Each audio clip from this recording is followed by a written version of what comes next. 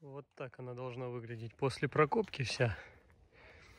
Это засыпается удобрением перегноем, навозом. Вот в нашем случае это навоз с опилками получился. И можно гранульное сюда просыпать еще удобрение. И вот так разравнивается. Все, она готова. Вот здесь уже получается останется только высадить капельник, прокинуть и накрыть спанбондом. Все, всем спасибо за просмотр. Пока.